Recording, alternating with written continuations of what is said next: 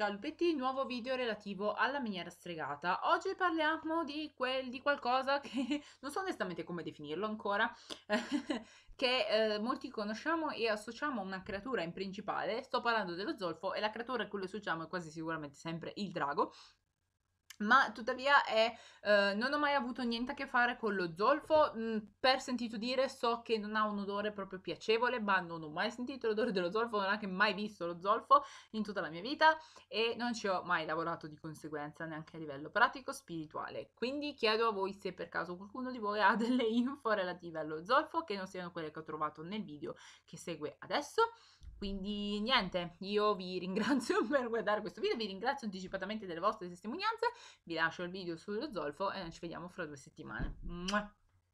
Lo zolfo è un non metallo che si presenta so- spesso sotto forma di cristalli gialli. È inodore anche se il caratteristico odore di uova marce si scatena nel momento in cui lo zolfo entra in contatto con l'idrogeno.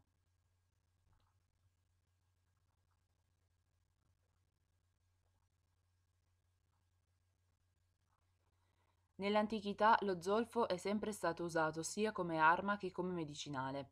Omero lo cita parlando di una tribù che lo impiegò per distruggere le mura di una città. In Cina fu usato per creare la polvere da sparo. Paracelso lo unì al mercurio e al sale per i suoi studi alchemici sulla trasmutazione della materia.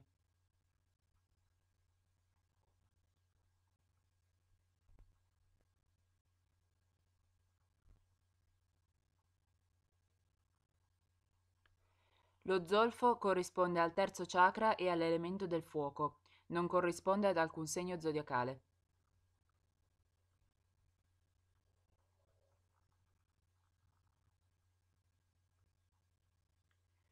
Le proprietà mediche dello zolfo sono le seguenti.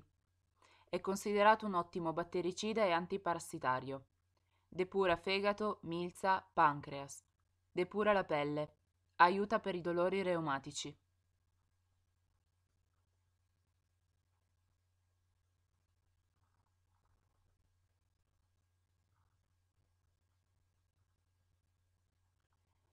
In campo esoterico è utile nei seguenti casi.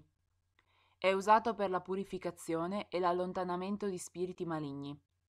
È un amuleto protettivo, specie se indossato in sacchetti rossi.